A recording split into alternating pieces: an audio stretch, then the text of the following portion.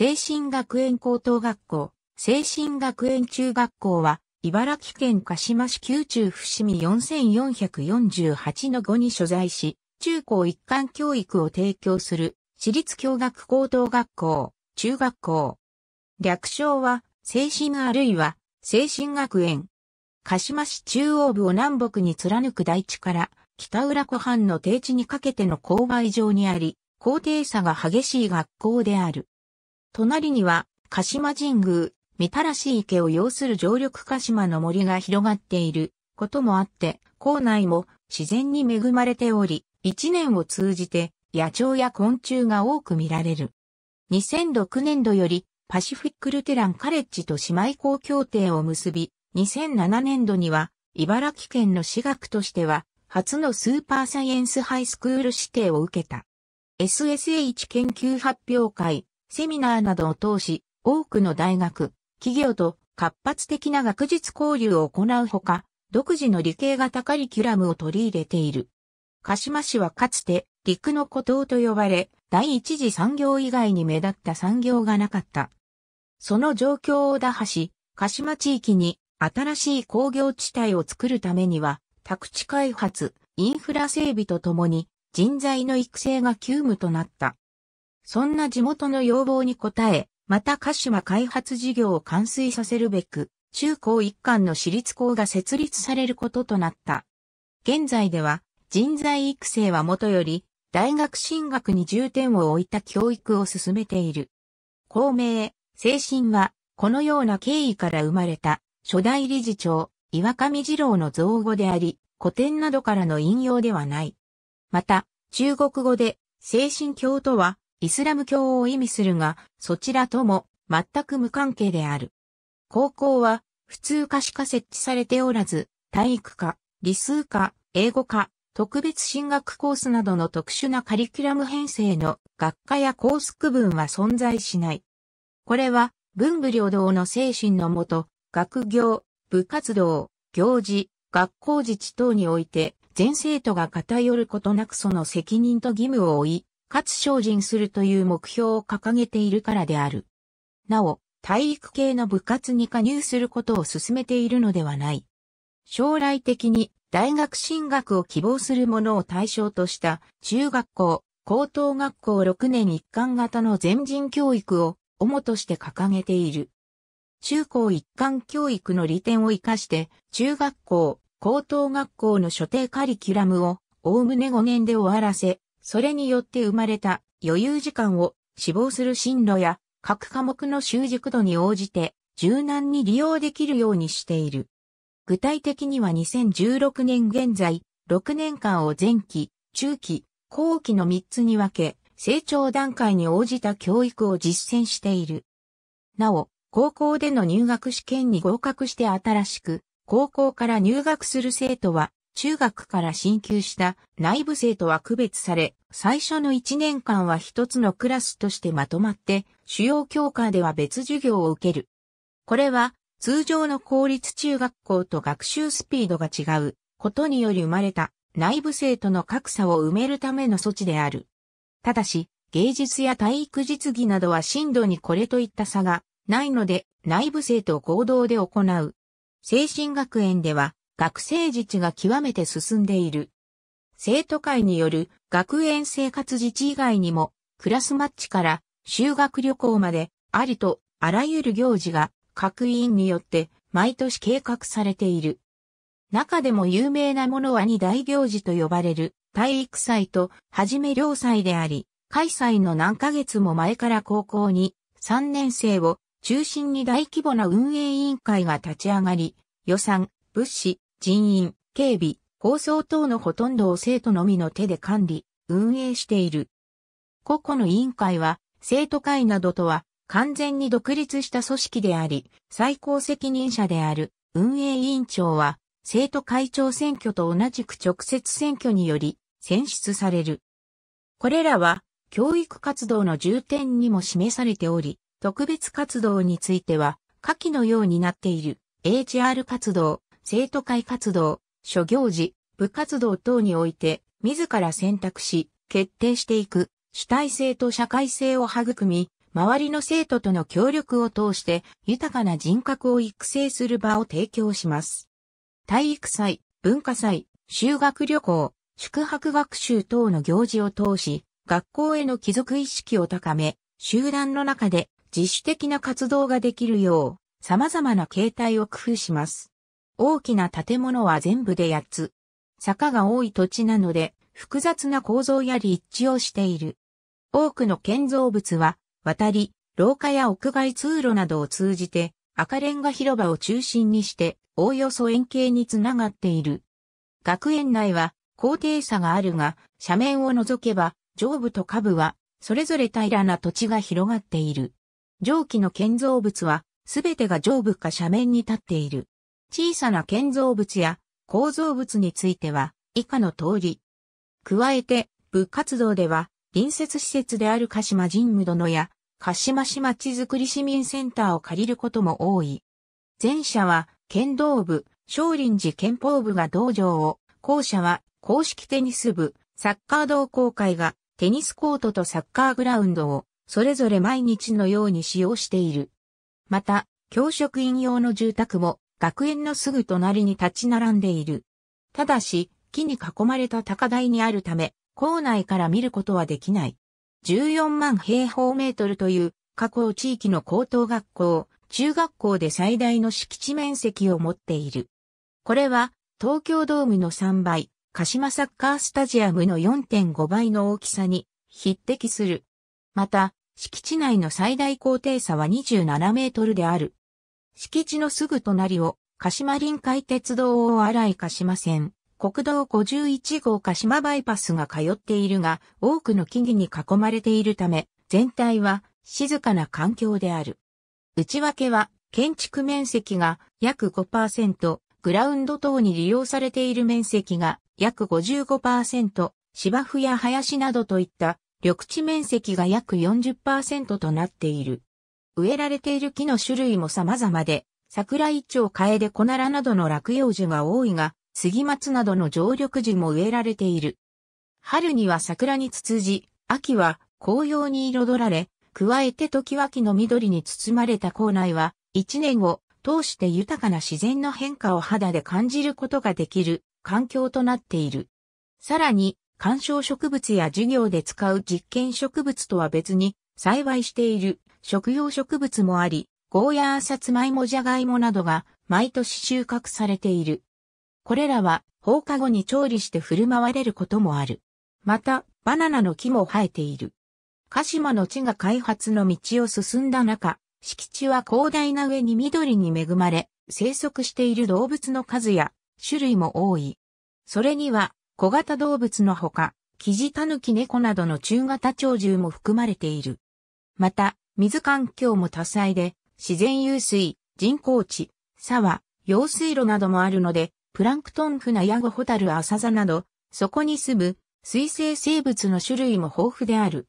以上のように様々な自然環境が整っているため、それらの生態をサンプルとして観察、調査する事業やゼミも多い。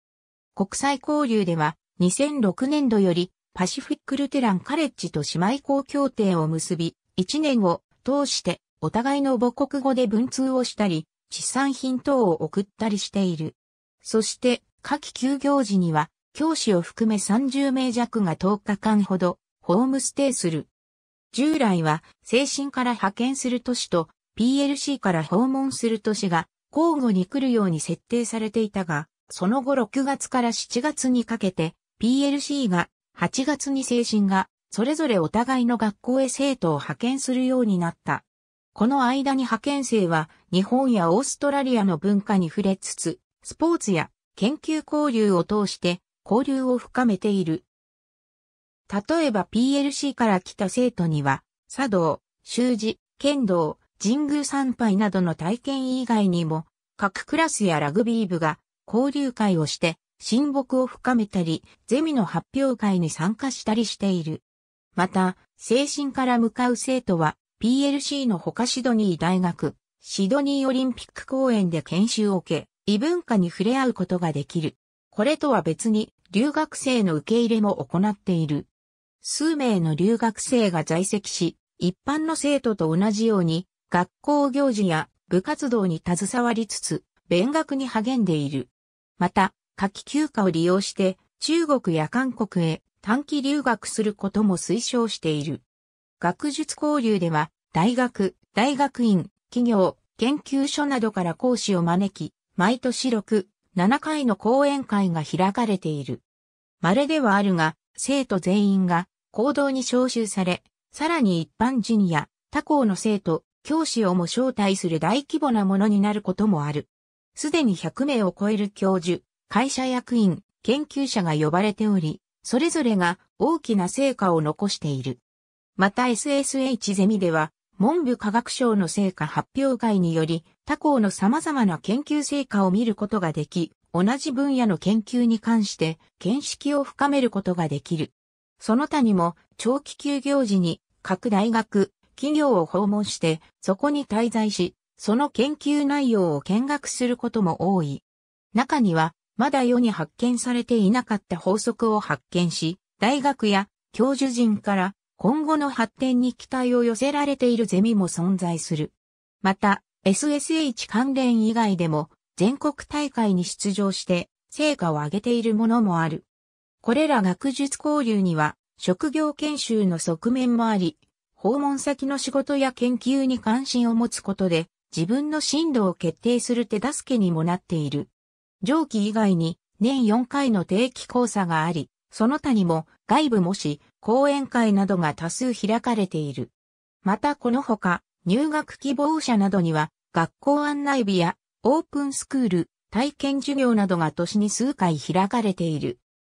多くの行事の中でも、全学年規模で取り行われる体育祭、はじめ両祭は毎年盛大に催され、さらに門戸も自由開放される数少ない機会であるため、学内生徒教師以外にも保護者、家族、親戚、他校生徒教師、入学希望者、卒業生等が押し寄せ、来場者は体育祭では1日に3000人以上、はじめ両祭では2日間で延べ2万人以上にも及ぶ。詳しくは下記を参照。例年、昭和の日に行われる。短期開催。上部グラウンドが競技の舞台となり、A 段から F 段までの6つの段が総合優勝をかけて争う。春休みに入る前から高校3年生は準備に追われ、下の学年もそれを補佐する形で準備に関わっていく。特に競技、ダンスで披露されるダンスは段ごとに違う創作であり、パフォーマンスを磨くためにもこの頃から練習を開始する。さらに、段別の応援席裏バックボード、マスコットキャラクターの制作も始まる。4月になると新入生が入ってくる。所属の段はランダムに決まり、その後6年間、原則として変わることはない。入学式終了後、団結式、対面式が行われ、体育祭が本格的に指導する。各団は団長を中心に、個々人の出場競技を決定し、運営委員会本部と各係長がそれら全データを収集して、大会運営に支障がないように係員等の役割を振り分けていく。体育祭まで2週間を切ると、ポスター宣伝、応援席設置、体育祭関連の放送、予行演習など、学園全体が体育祭中心になってくる。練習のためグラウンドや体育館が開放され、そのため部活動が停止期間に入ることもある。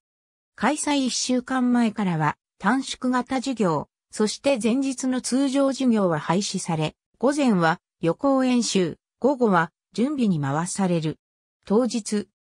開け祭りが宣言されると、駐車場は満員となり、臨時駐車場が至るところに設けられ、競技場のトラック以外は人の波で埋め尽くされる。種目は毎年多少変化するが、およそ20種目である。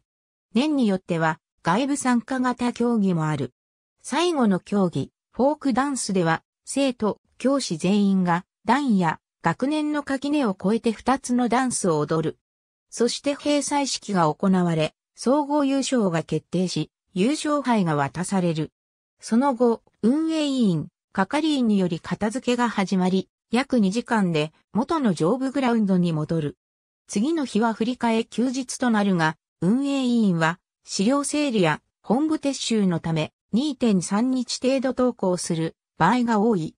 なお、体育祭運営の中心を担ってきた高校3年生にとっては、この体育祭が最後の大行事となる。最後の思い出作りを終えた彼らは、受験勉強を本格的に開始する。例年9月半ばの土日に行われる。2日間の連続開催。学園全体が舞台となる学校の創立を記念し祝う学園祭である。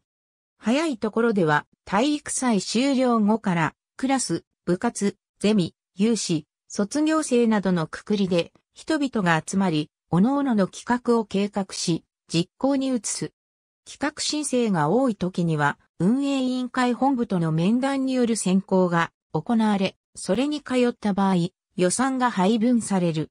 各企画の責任者及び会計担当者はこれを管理、記帳し、発生した余剰分は終了後に返還しなくてはならない。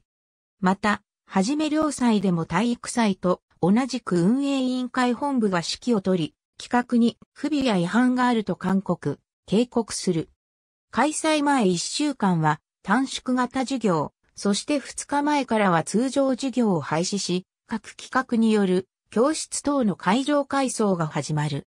申請をすれば20時まで学校に残って作業することもでき、生徒の出入りも自由となる。なおこの間、高校3年生は自由登校である。1日目の最初に開け祭り宣言がされると、先単位の人々が押し寄せ、体育祭と同じく臨時駐車場が設けられる。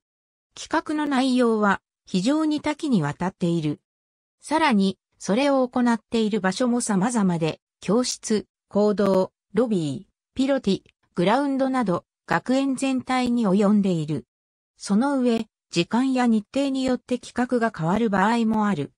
はじめ両祭終了後、各企画で片付けを行い、本部への決算報告が行われて、一通り終了となる。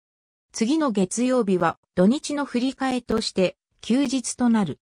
ただし、体育祭と同様、運営委員は何日か投稿する場合が多い。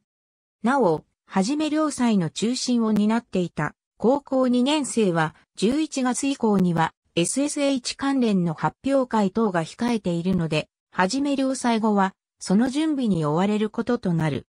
毎年9月、生徒会長になろうとする者が立候補し、生徒による直接選挙で最多票を得た者が生徒会長に選出される。その会長が他の役員を指名し、生徒会を組織する。生徒会は生徒の信任を受けた常設機関として絶大な権限を持っており、最高議決機関とされる生徒総会では予算、決算、役員選定などの重要な事項を生徒内で決める。これに次ぐ議決機関として代表委員会があり、各ホームルームの委員長、副委員長、各専門部長をもって構成され、予算の修正、快速の改正、役員の決定などが行われる。生徒会のもとには執行機関があり、生徒会長が主催して生徒会活動の具体案作成とその施行にあたる。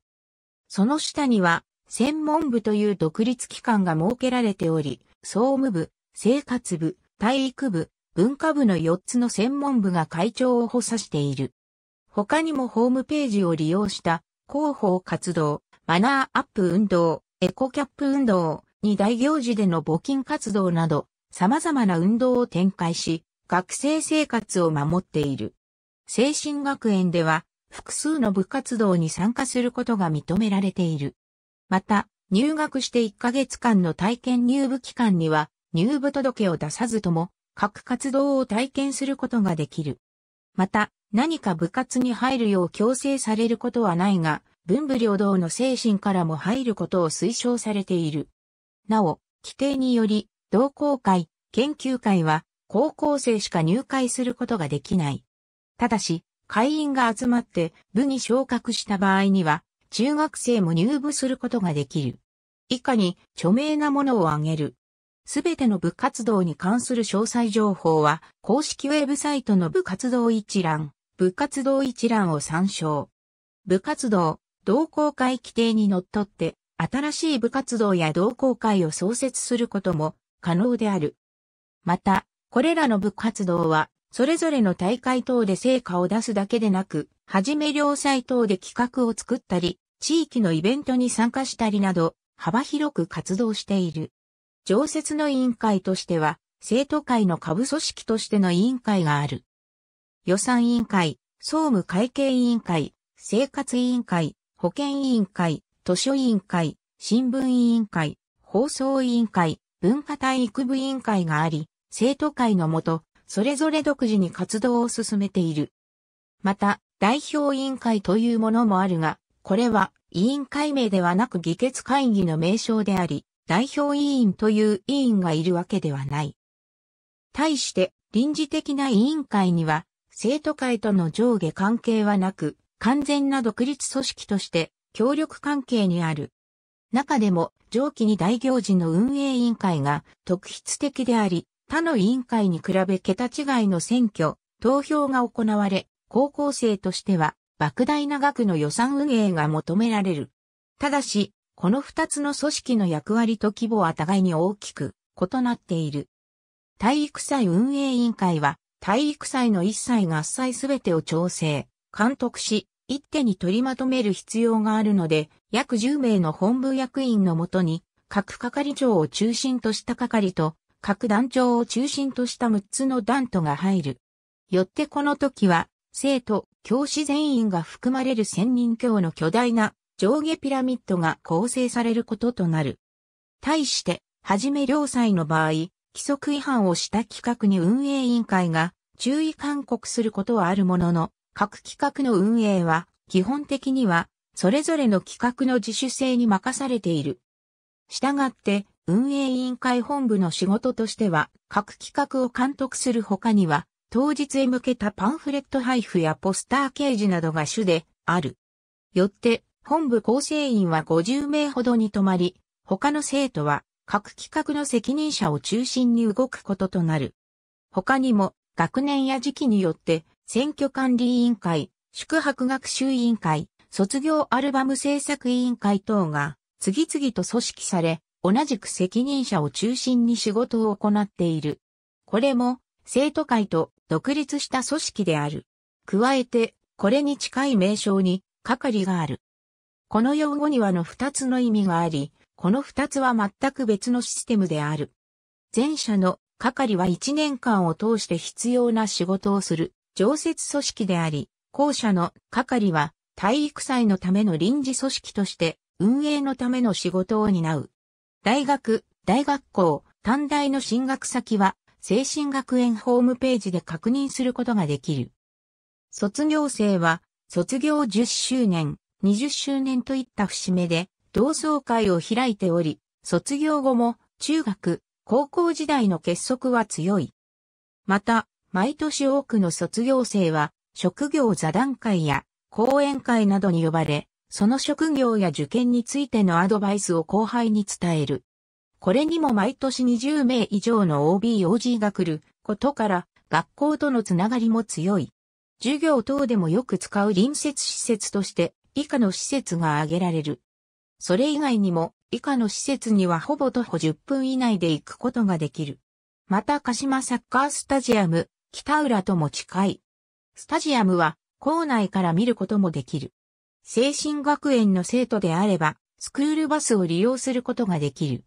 それ以外の来校者は、下記の方法で来ることが可能である。